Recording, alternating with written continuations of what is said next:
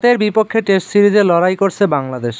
স্কোয়াডে না থাকলেও চেন্নাইয়ের এম এ চিদাম্বরম স্টেডিয়ামে প্রতিনিধিত্ব করছেন তামিম ইকবাল খান। এই সিরিজে ধারাভাষ্যকারের ভূমিকায় রয়েছেন দেশের এই ওপেনার। ওই সময় সাকিব আল হাসানের প্রশংসা করেছেন তিনি। তো ভাই ও বন্ধুরা, আপনাদের কাছে এই ভিডিওটা কেমন লেগেছে তা অবশ্যই কমেন্টে জানাবেন। এবং আমার চ্যানেলে আপনি যদি নতুন হয়ে থাকেন, অবশ্যই এটা সাবস্ক্রাইব করে আমাদের পাশেই থাকবেন।